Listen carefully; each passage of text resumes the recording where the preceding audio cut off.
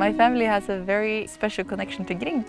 One of the people he sent out to travel the country actually came here to Valdres and he met my great great great grandfather who sang a little tune for him.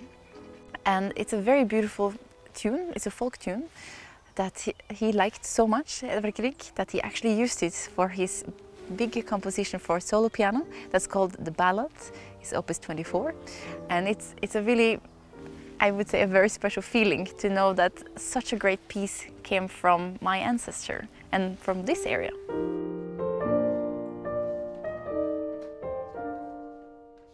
I actually have the transcription right here.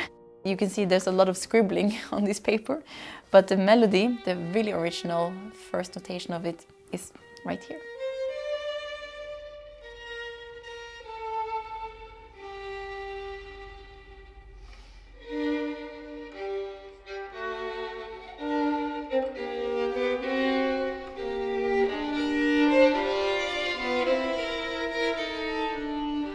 For me, I think music and nature is the most natural connection of all, actually.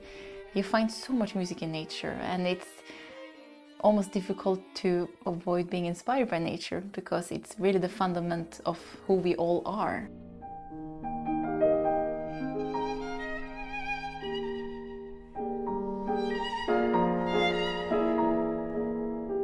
From the mid 19th century, there was a big interest to find and collect Norwegian folk tunes. And one of the places people traveled to was Aurdal. People came here from far away, and this is where also the local um, community could get a little sense of the world, so to speak.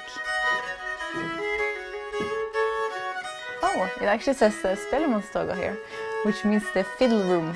And maybe this is where actually all the fiddlers gathered and played folk music tunes, and it was here things were written down.